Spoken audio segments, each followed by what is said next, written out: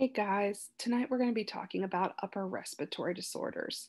So, what are upper respiratory disorders? They're ones that include the nose and throat, and then also the upper airway passages. Um, you know, the everything that kind of the tubes that lead to more tubes that lead to the lungs. Um, so, there's three disorders we're going to talk about. The first one is going to be allergic rhinitis. So, you know, what allergic rhinitis is, is actually a part of hypersensitivity disorders, and it's where your body overreacts when there's an allergen exposed to um, that you're exposed to. So, for example, example, like some common ones might be pollen, dust mites, or animal fur. Um, and so, you know, pretty much what happens is that, you know, these are harmless chemicals or things in your body but once your body senses them your body says oh no no no this is not good and it starts to build a defense up against them then every time that um, you know that that thing whatever that allergen might be comes back um, you know that defense comes up again and your body starts fighting you know how that manifests is, is that people are going to complain of you know it everything's itchy and watery. And so in other words they have a runny nose and it's important to note that they have clear drainage with that runny nose.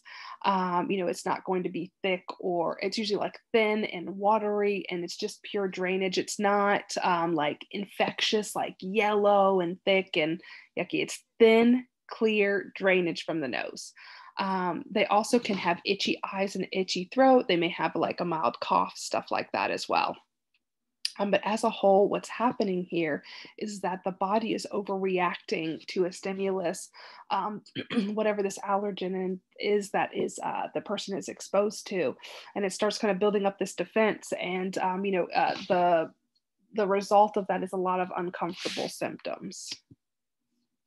So what do we do to treat this? So something that's important to note is, is that there's medications we can give to prevent people from reacting so much. There's also medications we can give to treat people, um, you know, that are having these active symptoms.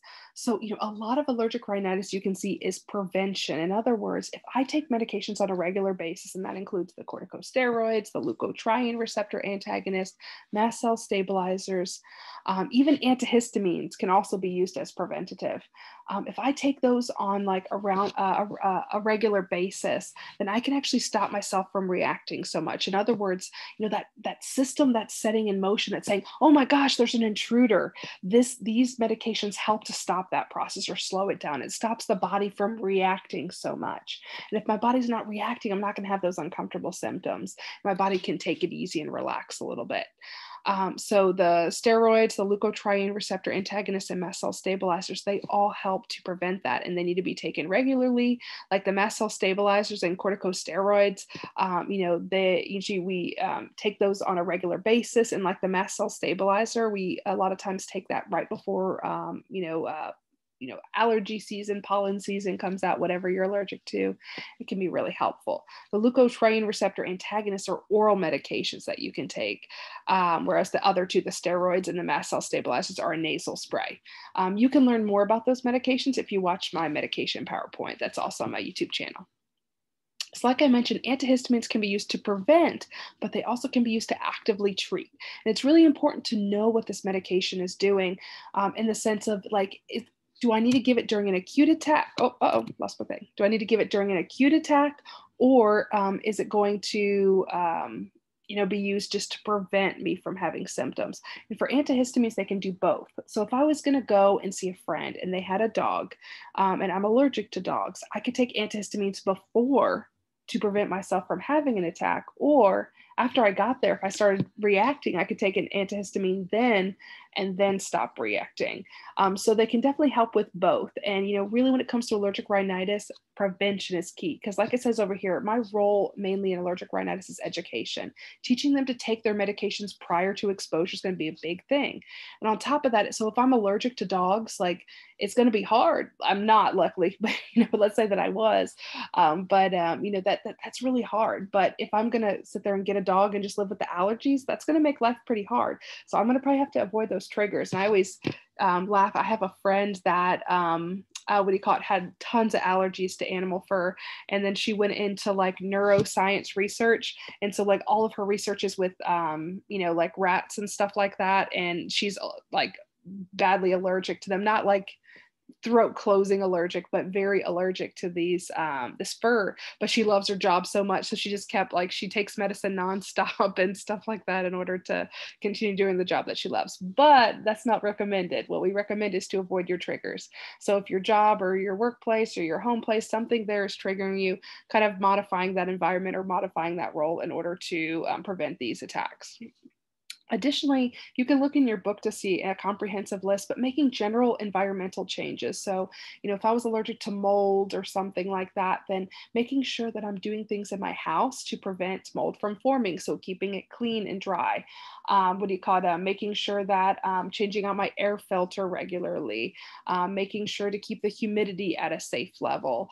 Um, you know, keeping and like a lot of times keeping animals and other, um, you know, things like that out of the bedroom where I spend a lot of my time sleeping can be helpful. So there's a lot of different ways that um, uh, what do you call it? Um, we can change our environment. So I would check into your book to kind of see the ways that we can change our house to make it uh, where we can actually um, have less chance of attacks as well.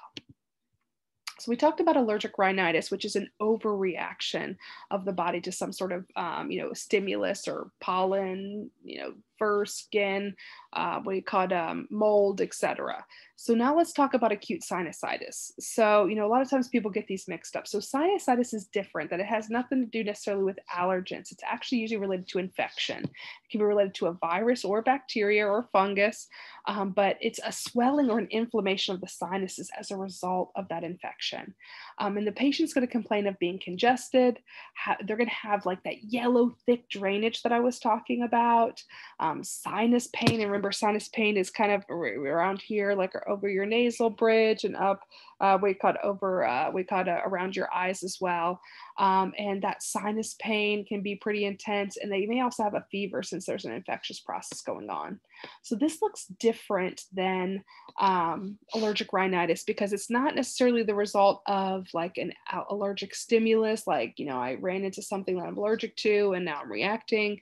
Um, and um, the congestion symptom is um, a really, really characteristic and telltale of acute sinusitis.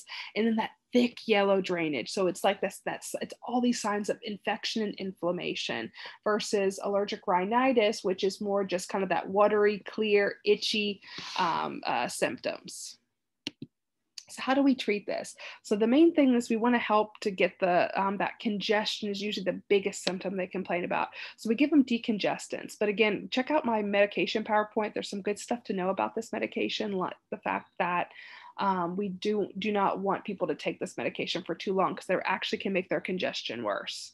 Remember, with allergic rhinitis, we want to take those medications on a regular basis, whereas with decongestants, it's the opposite.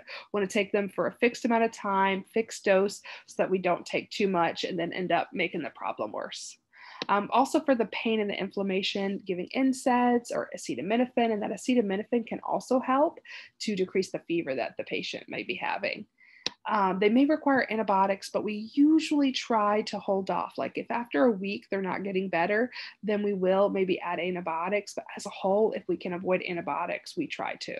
Um, we only want to give them to patients who absolutely need them. But um, for some patients, their sinusitis doesn't get better, so we need to add those on. My main role as the nurse is to provide comfort and just to be looking for complications, making sure like, you know, a patient could start with a viral acute sinusitis. And then because that congestion and stuff like that, they can end up getting a secondary bacterial infection. In other words, they start with a virus, but then bacteria grows while the virus is healing. So, um, you know, there's a lot of stuff that can happen. So I should be looking out for that as the nurse. Then also providing comfort. So hot packs to the face, it can be very comforting, doing nasal wrenches rinses, or lavages. Um, keeping the head of bed elevated is key because kind of think of it like if I broke my arm and it was really swollen, if I elevated it, that swelling goes down. Same with my head. If my if my nose and my face and everything, all my sinuses are inflamed, if I lay down, that's not going to help to decrease that inflammation. So it helps to sleep with the head of bed elevated um, and keep that up to decrease that swelling. Um, and then hot showers and steam can help to loosen up some of those secretions Last but not least, there's influenza. And what that is is a virus. And this is a virus that changes every year. So most people know the flu vaccine is something you get a new one every year. And you get a new one because this is a virus that is so smart and has replicated and it changes a little different every year. Um, but it's a very contagious upper respiratory infection. And most people get this confused because they think influenza is like a lung problem, but it's actually an upper airway problem. And the patient has a sore throat, cough, they can have a fever body aches, fatigue, malaise. They can have some GI symptoms and stuff as well. Um, but as a whole, um, you know, the thing with viruses that's good to know is that these are very self limiting. In other words, um, there's not a lot I can do to treat them except for supportive care. And we're going to kind of get into that. So, you know, the best thing we can do with influenza is try to prevent it. Um, we can prevent it or improve outcomes with the yearly vaccine. And something that's really important to know, it's something I didn't understand before I came to nursing school, is that, you know, I don't get a yearly flu vaccine just for me, and I don't get a yearly flu vaccine to prevent me from getting the flu, but I do get it to prevent it, uh, me from dying from the flu. In other words, if I get a vaccine um, to help me with the flu. Its job is is not it can't always stop me from getting the flu because there's a lot of different strains and even if I have that protection, sometimes the flu is super strong some years. Um, but what it's going to stop me is from having complications or a really bad outcome from it. So it's really important patients understand that because there's a lot of misconceptions around different vaccines and things like that. And regardless of what you believe, and I'm not going to get too big into belief systems and stuff like that about vaccines, but it's just important as a healthcare provider to always provide provide an unbiased opinion of just what are the facts about you know why we give vaccines and stuff like that and how we can really um, help that person because it can be kind of hard in medicine sometimes but um, it's really important that people can make an opinion or judgment for themselves what's best for their health based on the best information that you can give them um, so high risk groups should always be vaccinated, and that includes like healthcare workers, first responders, and stuff like that as well. People that are going to be exposed to a lot of um, people that may be sick. Also, people that live in kind of communal places like nursing homes and stuff like that would be higher risk as well. Um, you know, actual treatment, like I mentioned, was just supportive, like, you know, managing symptoms. So, like acetaminophen for the fever, maybe to help with the body aches and stuff like that, too. Maybe um, to help with a sore throat, uh, and maybe just some other medications just to help them, like with some of those uncomfortable symptoms that they're having. Um, rest is key. So letting the like the best way to treat a virus is to rest and um, make sure you're staying hydrated um, if it's caught early, we can give a medication. It's an antiviral called oseltamivir. Um, and this is not going to stop or kill the flu, but it's going to decrease your length of your illness or decrease, it may decrease some of your symptoms. And it's going to um, usually help if it's if it's given early in the influenza, it can actually help so you don't have influenza as long as you would have. Um, overall, my role as the nurse is education, identifying the high risk group, and then monitoring for complications. So, like I mentioned, influenza is an upper airway and respiratory problem. So, if I'm starting to have lung problems, like I'm having wet lung sounds, um, I'm showing signs like my I had a fever, it went away, and then it came back. Um, you know, I'm uh, really um, starting to cough up some really yucky purulent stuff from my lungs, stuff like that. I would be start to be concerned about this patient um, because this patient, um, again, their symptoms are most should be upper airway. If there's starting to be lung involvement, that means that maybe I'm getting into a pneumonia or some complication of influenza. So it's always good to be kind of aware and do regular lung assessments to make sure the patient's not having a spread to that infection. So that's pretty much it when it comes to um, upper respiratory disorders. I hope this was helpful. I'll see you next time.